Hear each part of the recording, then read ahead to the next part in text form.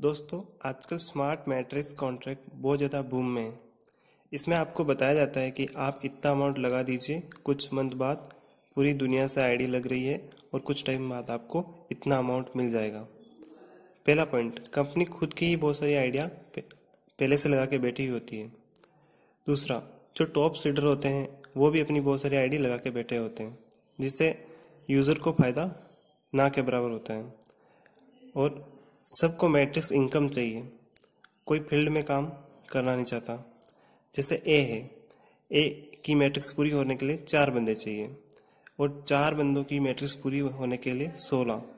इसी तरह फिर चौंसठ, दो सौ छप्पन, एक हज़ार चौबीस। इस तरह कॉन्ट्रैक्ट हिट होना बहुत मुश्किल होता जाता है धीरे धीरे धीरे। अब आप ये सोच रहे होंगे कि हमारी मैट्रिक्स के अंदर तो सिर्फ़ दो मतलब दो से ही मैट्रिक्स पूरी हो जाती है।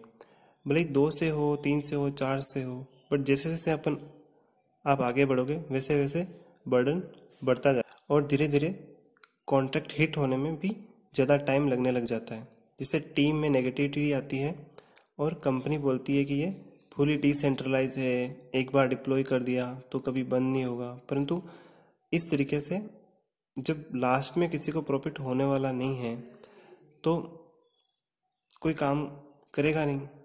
और जब काम करेगा नहीं तो कंपनी ज़्यादा टाइम तक चलने वाली है नहीं। और इसी तरह हज़ारों लोग बस बार बार अपने वैलेट को चेक करते रहते हैं कि कब मेरा कॉन्ट्रैक्ट हिट हो जाए और मुझे कॉइन मिल जाए।